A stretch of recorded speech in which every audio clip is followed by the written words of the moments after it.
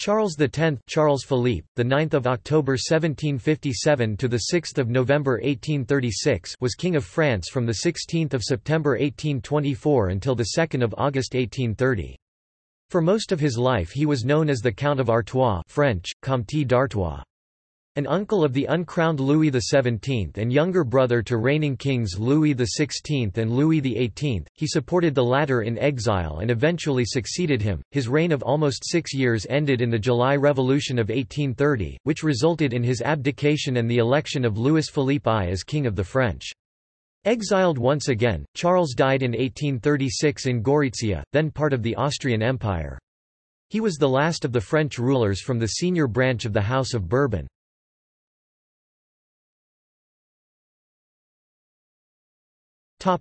Childhood and adolescence Charles Philippe of France was born in 1757, the youngest son of the Dauphin Louis and his wife, the Dauphine Marie-Joseph, at the Palace of Versailles. Charles was created Count of Artois at birth by his grandfather, the reigning King Louis XV. As the youngest male in the family, Charles seemed unlikely ever to become king. His eldest brother, Louis, Duke of Burgundy, died unexpectedly in 1761, which moved Charles up one place in the line of succession. He was raised in early childhood by Madame de Marsan, the governess of the children of France. At the death of his father in 1765, Charles's oldest surviving brother, Louis Auguste, became the new Dauphin the heir apparent to the French throne. Their mother Marie-Joseph, who never recovered from the loss of her husband, died in March 1767 from tuberculosis.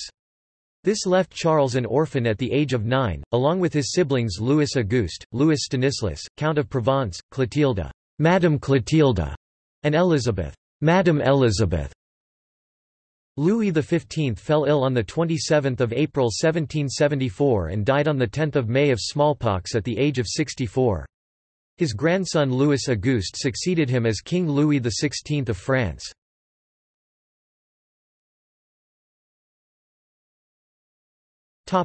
Marriage and private life In November 1773, Charles married Marie-Thérèse of Savoy. In 1775, Marie-Thérèse gave birth to a boy, Louis Antoine, who was created Duke of Angoulême by Louis XVI.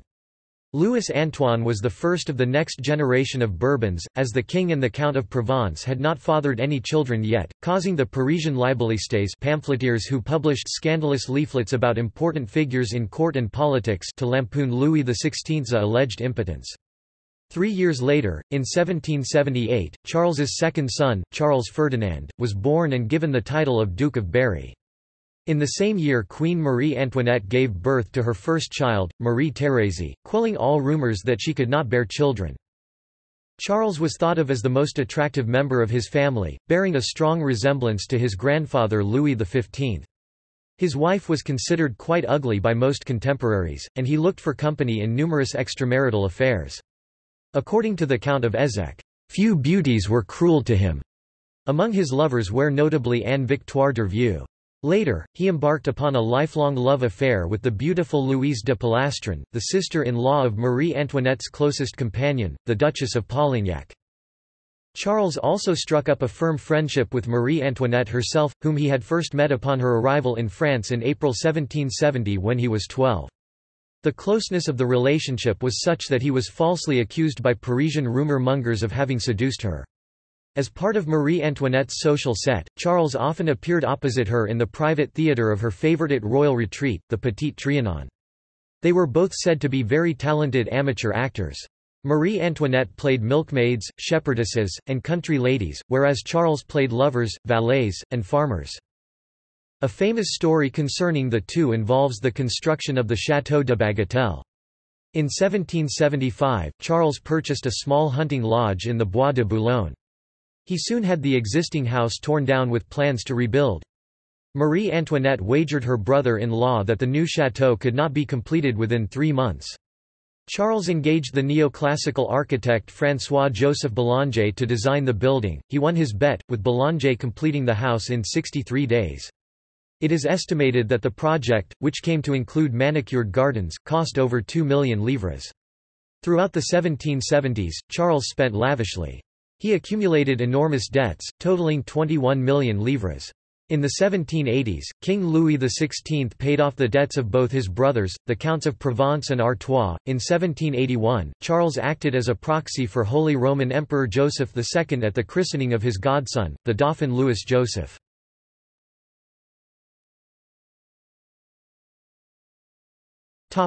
Crisis and French Revolution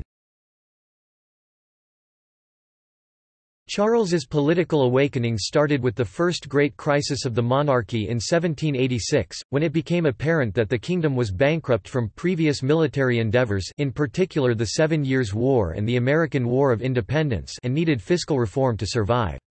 Charles supported the removal of the aristocracy's financial privileges, but was opposed to any reduction in the social privileges enjoyed by either the church or the nobility.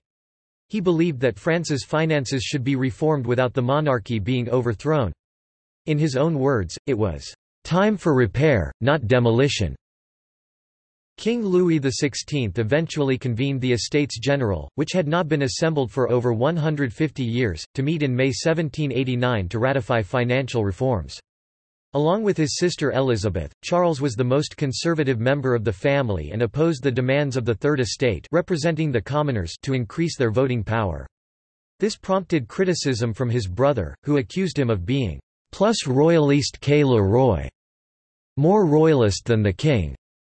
In June 1789, the representatives of the Third Estate declared themselves a National Assembly intent on providing France with a new constitution. In conjunction with the Baron de Breteuil, Charles had political alliances arranged to depose the Liberal Minister of Finance, Jacques Necker.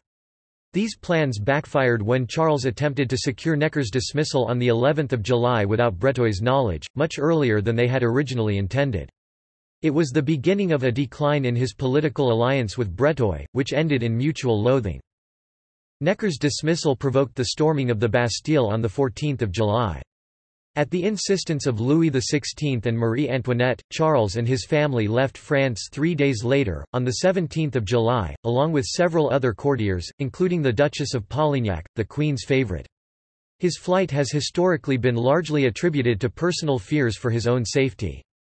However recent research indicates that the king approved in advance of his brother's departure, seeing it as a means of ensuring that one close relative would be free to act as a spokesman for the monarchy after Louis himself had been removed from Versailles to Paris.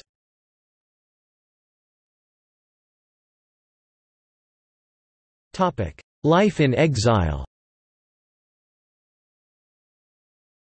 Charles and his family decided to seek refuge in Savoy, his wife's native country, where they were joined by some members of the Condé family. Meanwhile, in Paris, Louis XVI was struggling with the National Assembly, which was committed to radical reforms and had enacted the Constitution of 1791. In March 1791, the Assembly also enacted a regency bill that provided for the case of the king's premature death. While his heir Louis Charles was still a minor, the Count of Provence, the Duke of Orléans or, if either was unavailable, someone chosen by election should become regent, completely passing over the rights of Charles who, in the royal lineage, stood between the Count of Provence and the Duke of Orléans. Charles meanwhile left Turin in Italy and moved to Trier in Germany, where his uncle, Clemens Wenceslaus of Saxony, was the incumbent archbishop-elector. Charles prepared for a counter-revolutionary invasion of France, but a letter by Marie Antoinette postponed it until after the royal family had escaped from Paris and joined a concentration of regular troops under General de Bouillé at Montmedy. After the attempted flight was stopped at Varennes, Charles moved on to Koblenz, where he, the recently escaped Count of Provence and the princes of Condé jointly declared their intention to invade France. The Count of Provence was sending dispatches to various European sovereigns for assistance, while Charles set up a court in exile in the electorate of Trier. On 25 August, the rulers of the Holy Roman Empire and Prussia issued the Declaration of Pillnitz, which called on other European powers to intervene in France. On New Year's Day 1792, the National Assembly declared all emigrants traitors, repudiated their titles and confiscated their lands. This measure was followed by the suspension and eventually the abolition of the monarchy in September 1792. The royal family was imprisoned and the king and queen were eventually executed in 1793. The young Dauphin died of illnesses and neglect in 1795. When the French Revolutionary Wars broke out in 1792, Charles escaped to Great Britain, where King George III of Great Britain gave him a generous allowance. Charles lived in Edinburgh and London with his mistress Louise de Polastron. His older brother, dubbed Louis XVIII after the death of his nephew in June 1795, relocated to Verona and then to Jelgava Palace, Mitau, where Charles's son Louis Antoine married Louis XVI's only surviving child, Marie Thérèse, on 10 June 1799. In 1802, Charles supported his brother with several thousand pounds. In 1807, Louis XVIII moved to Great Britain.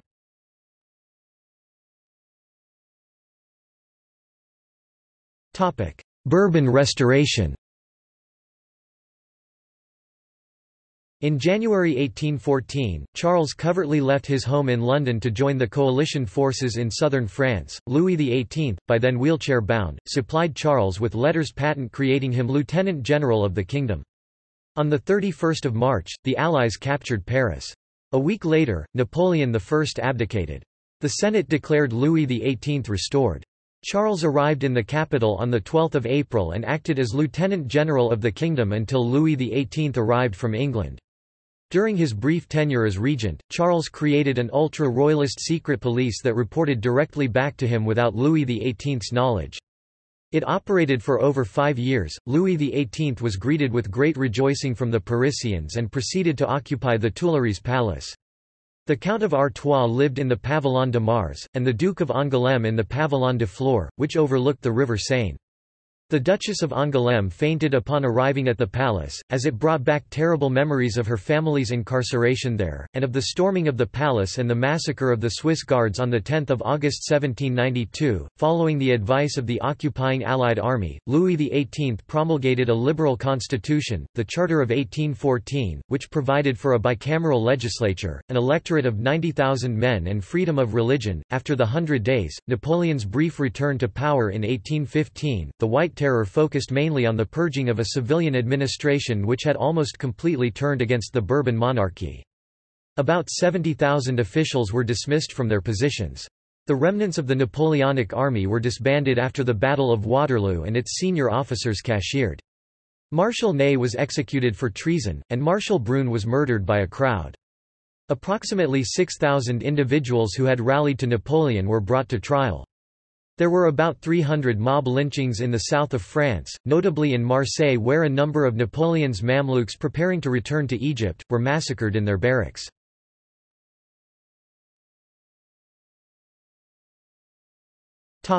King's brother and heir presumptive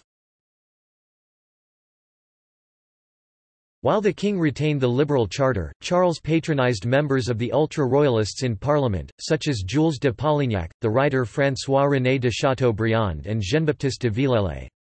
On several occasions, Charles voiced his disapproval of his brother's liberal ministers and threatened to leave the country unless Louis XVIII dismissed them. Louis, in turn, feared that his brothers and heir presumptives' ultra-royalist tendencies would send the family into exile once more which they eventually did. On 14 February 1820, Charles's younger son, the Duke of Berry, was assassinated at the Paris Opera. This loss not only plunged the family into grief but also put the succession in jeopardy, as Charles's elder son, the Duke of Angoulême, was childless. The lack of male heirs in the Bourbon main line raised the prospect of the throne passing to the Duke of Orléans and his heirs, which horrified the more conservative ultras. Parliament debated the abolition of the Salic law, which excluded females from the succession and was long held inviolable. However, the Duke of Berry's widow, Caroline of Naples and Sicily, was found to be pregnant and on 29 September 1820 gave birth to a son, Henry, Duke of Bordeaux. His birth was hailed as God-given, and the people of France purchased for him the Château de Chambord in celebration of his birth. As a result, his granduncle, Louis XVIII, added the title Count of Chambord, hence Henry, Count of Chambord, the name by which he is usually known.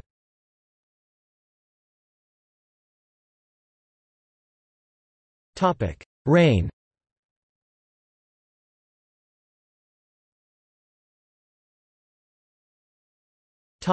Domestic policies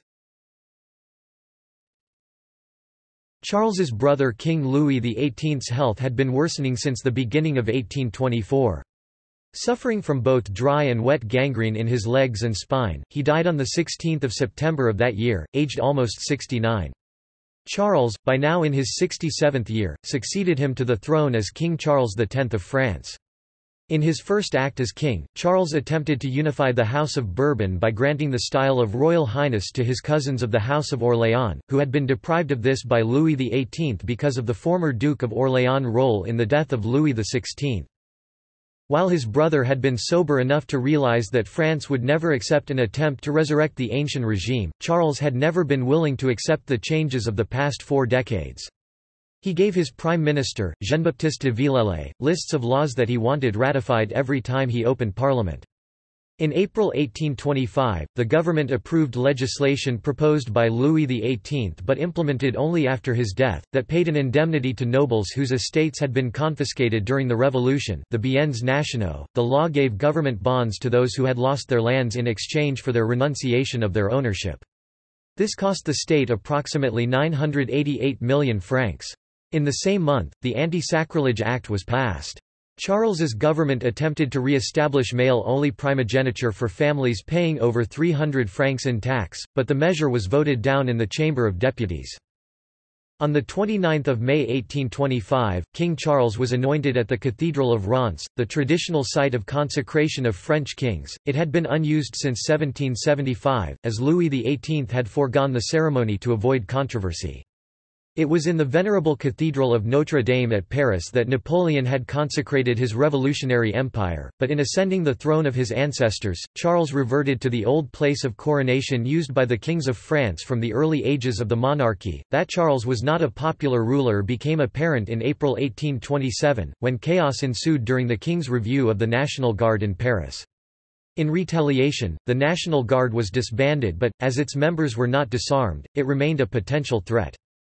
After losing his parliamentary majority in a general election in November 1827, Charles dismissed Prime Minister Villèle on 5 January 1828 and appointed Jean-Baptiste de Martignac, a man the king disliked and thought of only as provisional.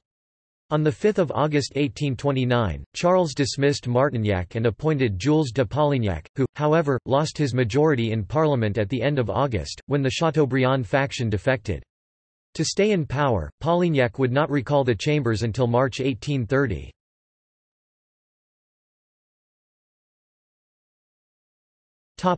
Conquest of Algeria On 31 January 1830, the Polignac government decided to send a military expedition to Algeria to put an end to the threat the Algerian pirates posed to Mediterranean trade and also increase the government's popularity with a military victory.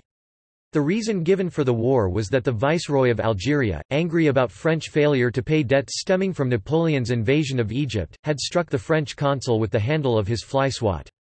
French troops invaded Algiers on 5 July.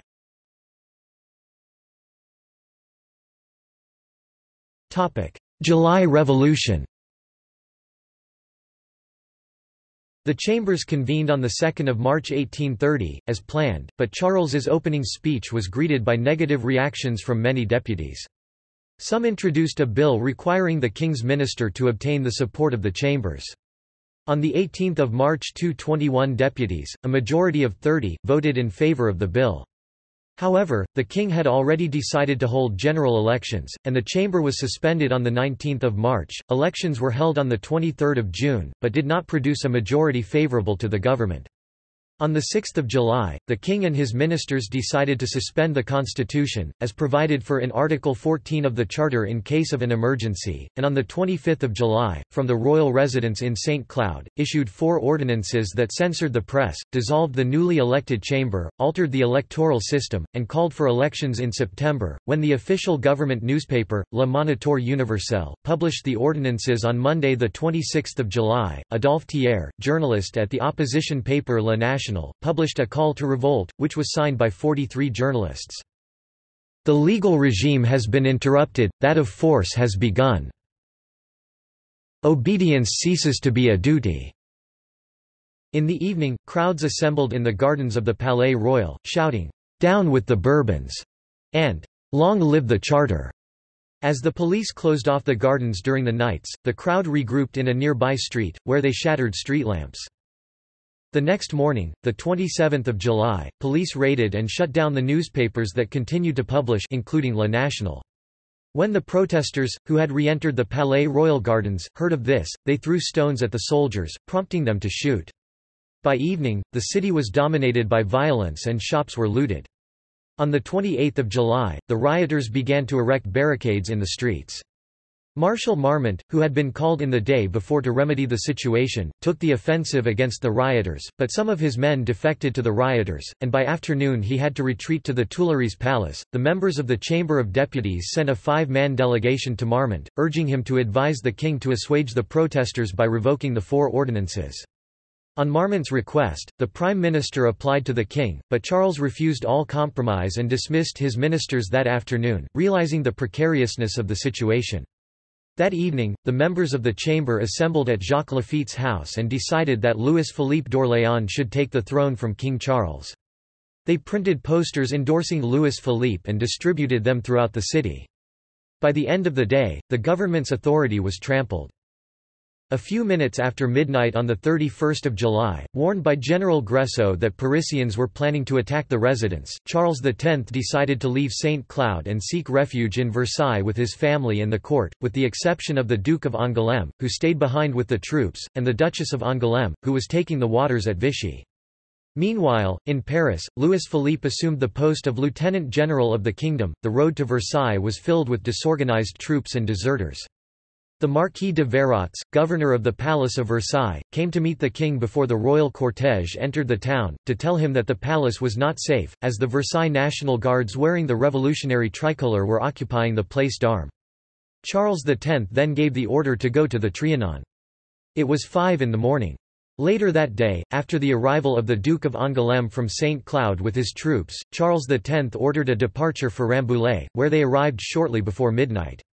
On the morning of 1 August, the Duchess of Angoulême, who had rushed from Vichy after learning of events, arrived at Rambouillet. The following day, 2 August, King Charles X abdicated, bypassing his son the Dauphin in favour of his grandson Henry, Duke of Bordeaux, who was not yet ten years old. At first, the Duke of Angoulême the Dauphin refused to countersign the document renouncing his rights to the throne of France. According to the Duchess of Maillé, there was a strong altercation between the father and the son. We could hear their voices in the next room. Finally, after 20 minutes, the Duke of Angoulême reluctantly countersigned the following declaration. My cousin, I am too deeply pained by the ills that afflict or could threaten my people, not to seek means of avoiding them. Therefore, I have made the resolution to abdicate the crown in favour of my grandson, the Duke of Bordeaux. The Dauphin, who shares my feelings, also renounces his rights in favor of his nephew. It will thus fall to you, in your capacity as Lieutenant General of the Kingdom, to proclaim the accession of Henri V to the throne. Furthermore, you will take all pertinent measures to regulate the forms of government during the new king's minority. Here, I limit myself to stating these arrangements, as a means of avoiding further evils. You will communicate my intentions to the diplomatic corps, and you will let me know as soon as possible the proclamation by which my grandson will be recognized as king under the name of Henri V. Louis Philippe ignored the document and on 9 August had himself proclaimed King of the French by the members of the chamber.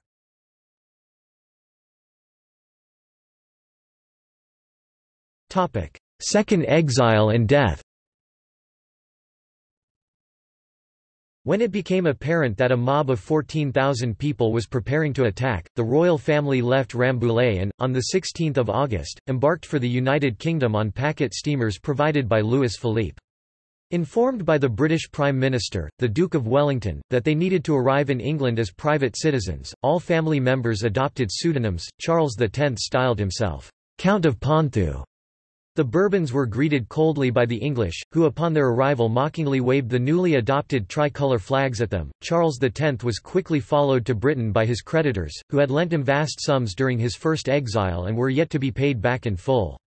However, the family was able to use money Charles's wife had deposited in London. The Bourbons were allowed to reside in Lulworth Castle in Dorset, but quickly moved to Holyrood Palace in Edinburgh, where the Duchess of Berry also lived at Regent Terrace. Charles's relationship with his daughter-in-law proved uneasy, as the Duchess claimed the regency for her son Henry, whom the abdications of Rambouillet had left the legitimist pretender to the French throne. Charles at first denied her demands, but in December agreed to support her claim once she had landed in France.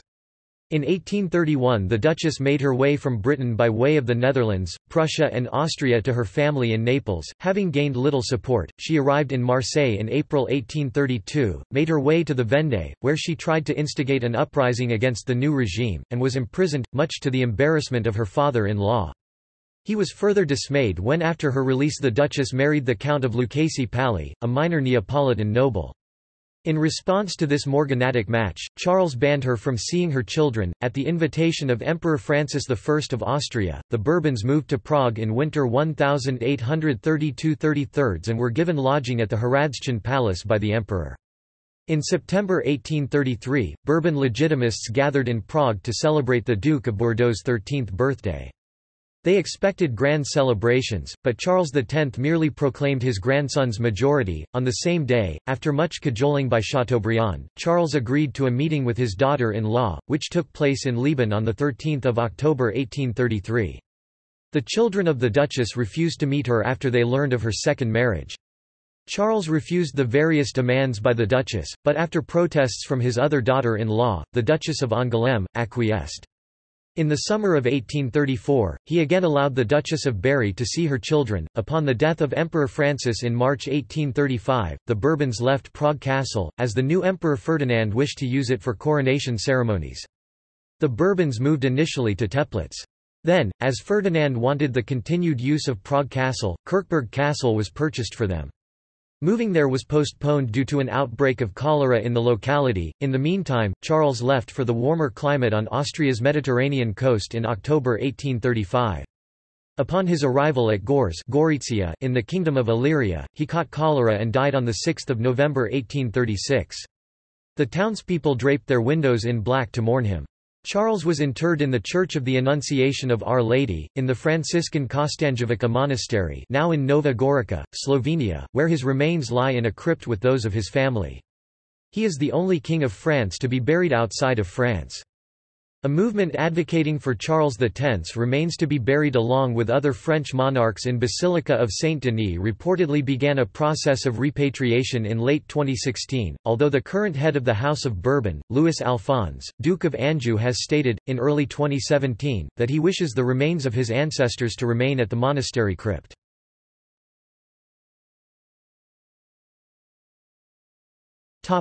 Honours Bourbon Restoration, Grand Master and Grand Croix of the Order of the Holy Spirit Bourbon Restoration, Grand Master and Grand Croix of the Order of St. Michael Bourbon Restoration, Grand Master and Grand Croix of the Legion of Honor Bourbon Restoration, Grand Master and Grand Croix of the Order of St. Louis Bourbon Restoration, Grand Master and Grand Croix of the Order of St. Lazarus Bourbon Restoration, Décoration de la Fidélité Bourbon Restoration, Decoration of the Lily Spain, Order of the Golden Fleece United Kingdom, Order of the Garter. Topic: Ancestry.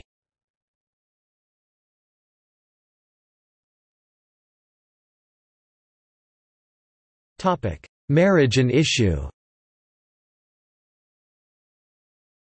Charles X married Princess Maria Theresa of Savoy, the daughter of Victor Amadeus III, King of Sardinia, and Maria Antonietta of Spain, on 16 November 1773.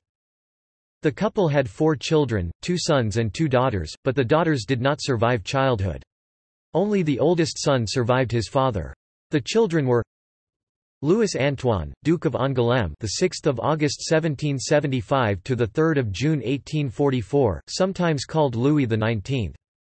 Sophie, the 5th of August 1776 to the 5th of December 1783, Mademoiselle d'Artois. Charles Ferdinand, Duke of Berry, the 24th of January 1778 to the 13th of February 1820. Marie Thérèse, the 6th of January 1783 to the 22nd of June 1783, Mademoiselle d'Angoulême.